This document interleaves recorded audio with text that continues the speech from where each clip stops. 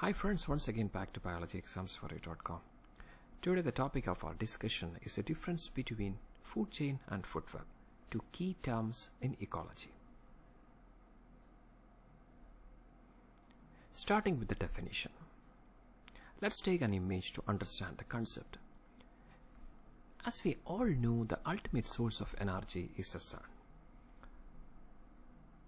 The energy from the sunlight is trapped by plants by photosynthesis and that is transferred from plants to series of organisms by the process of eating and being eaten is called as food chain. Each step in the food chain is called as trophic level. Therefore, primary producers represent the first trophic level. Herbivores or primary consumers represent the second trophic level and so on.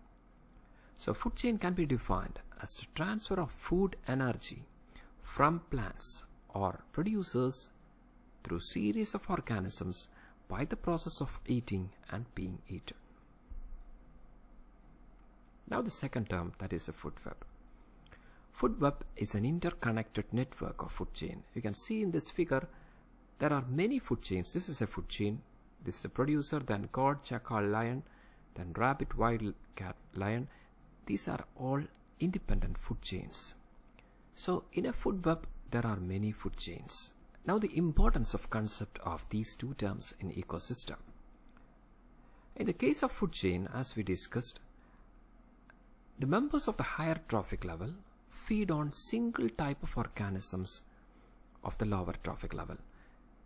In this example, this particular eagle will be feeding on only the snake. Therefore, such isolated food chains can cause instability of an ecosystem as that doesn't contribute to the survival of this particular organism. If the snake is missing, the chance of survival of this eagle will be difficult. Therefore, isolated or separated food chains causes instability of an ecosystem. Now take the case of food web. Often the possibility is the presence of food web in an ecosystem. You can see that this rabbit may be preyed upon by jackal or wildcat. So here the members of higher trophic level like jackal can feed on goat, rabbit, etc. So it has many options. There is competition also for a common prey. So that will improve the adaptability of that organism.